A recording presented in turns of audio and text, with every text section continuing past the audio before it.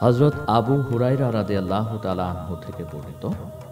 তিনি বলেন হজরত রসুল করিম সাল্লাহ আলহাসাল্লাম বলেছেন, রোজা হচ্ছে ঢাল সরু তোমাদের মধ্যে কেউ কোনোদিন রোজা রাখলে তার মুখ থেকে যেন খারাপ কথা বের না হয়। কেউ যদি তাকে গালমন্দ করে বা বিবাদে প্ররোচিত করতে চায়, সে যেন বলে, আমি রোজাদার। আল হাদিস।